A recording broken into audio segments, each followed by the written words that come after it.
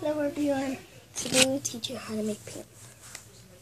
Let me get this. All you're gonna need is a marker. I'm using a highlighter. Sometimes it works with color pencil. Oh, Robin. This is the color pencil. You also need something to mix, but I'm just using this because I don't have toothpick. Glue, liquid glue, and paper. So I'm gonna put my tablet in the and let's get started.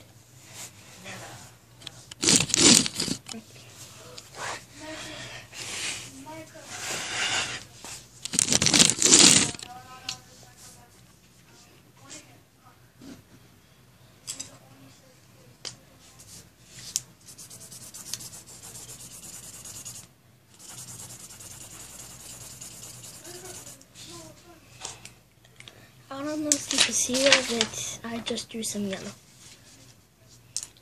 Next step is to take your glue and add a little drops. And then start stirring.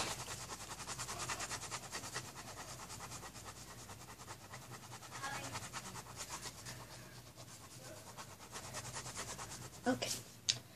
Yeah. So it came out so now I'm going to try to get as much as I can. You know what? I'm just going to get it on my finger. I don't... Wait. I don't know. You can't see it. Don't you see like the sheetness? It's really yellow. Wait. It's too bright. It's really bright. Look at the paper if look, you see this spot? That's the paint. You see that spot? That's paint too. So now let's get to the color pencil ones. Let's do the same thing. Color.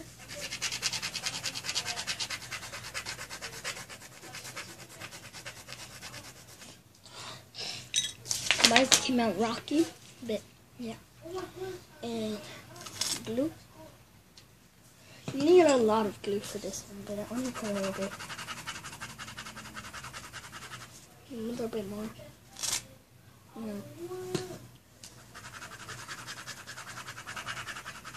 Okay. Time to get it and put it on the paper. You could barely see it. If I add more glue, it'll probably make more color. Wait, let me get some on finger. Wait. And